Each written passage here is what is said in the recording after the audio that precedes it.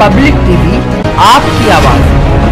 मुरादाबाद में एआईएमआईएम के पूर्व जिलाध्यक्ष मुस्तफ़ा अली द्वारा दिए गए विवादित बयान को लेकर बीजेपी नेताओं में विरोध शुरू हो गया है। बीजेपी नेताओं ने ऐसे नेताओं पर सख्त कार्रवाई की है वहीं उनका साफ़ कहना है कि हर किसी को मर्यादा में रहकर अपनी बात होगी साथ ही मुस्तफ़ा द्वारा दिया गया बयान बेहद घृणा वाला ये बयान समाज को तोड़ने वाला बयान है लिहाजा समाज को ऐसे जवाब देना होगा साथ ही पुलिस को भी ऐसे लोगों पर सख्त कार्रवाई करनी है। उधर सपा नेताओं ने भी इस मामले में बीजेपी नेताओं के सुनने से है उनका कहना है कि देश की एकता को तोड़ने की कोशिश कर रहे हैं।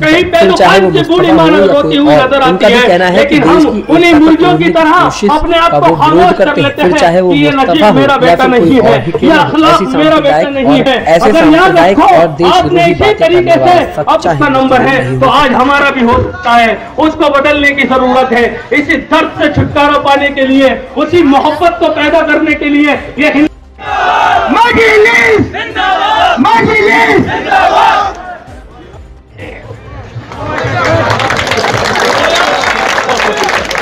हिंदुस्तान का मुसलमान, बाबरी मस्जिद की जगह, राम मंदिर किसी कीमत है वो?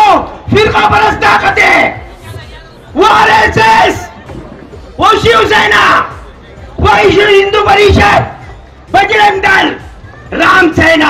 जिस अली की सेना निकल गई तो तुम्हारा कोई देखने वाला नहीं होगा, इंशाल्लाह अज़ीज़। हमारी दिलों की धड़कन है। हमारे आबा अजदाद की बनाई हुई बाबरी मस्जिद है।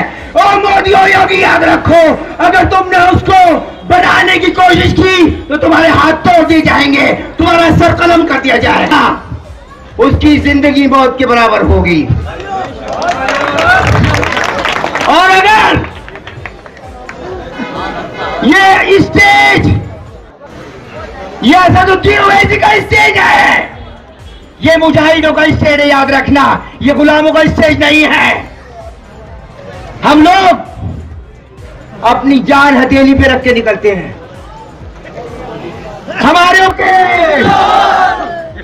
बशीर साहब उबैर अली। बहुत बहुत शुक्रिया। क्योंकि ऐसे लोगों को अगर दंडित नहीं किया जाएगा तो निश्चित तौर पर समाज में इस प्रकार की प्रवृत्तियों को बढ़ावा मिलेगा।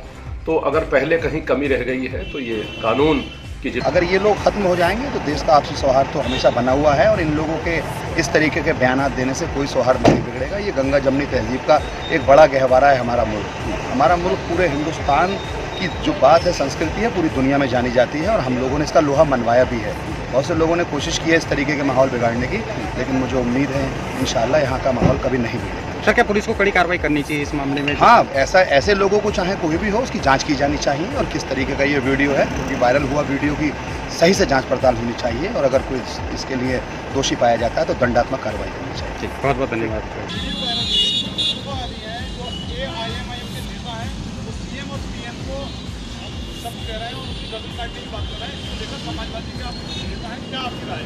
देखिए मैंने वीडियो सुनी नहीं है ना देखी है।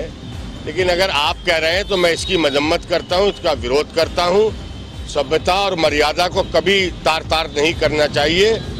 आ, देश के प्रधानमंत्री को ये शब्द कहना उत्तर प्रदेश के मुख्यमंत्री को ये शब्द कहना ये बिल्कुल निंदनीय घटना है। मैं इसका विरोध करता हूँ मजम्मत करता हूँ। नागफनी क्षेत्र में एक भड़काऊ भाषण का वीडियो वायरल हुआ जो पुलिस को प्राप्त हुआ था। उसमें हम लोगों ने एक मुकदमा दर्ज किया है, उस पर जाँच कर रहे हैं। उसमें माननीय प्रधानमंत्री जी और माननीय मुख्यमंत्री जी को लेकर कुछ आपत्ति का भाषण वो दे रहे थे, वो उसमें दिखाई दे रहा है। उस वीडियो को हम लोग एफआईआर दर्ज किया है और उसका पूरा परिशीलन कर रहे हैं और उसके आधार पर हम लोग अग्रिम कार्रवाई करेंगे।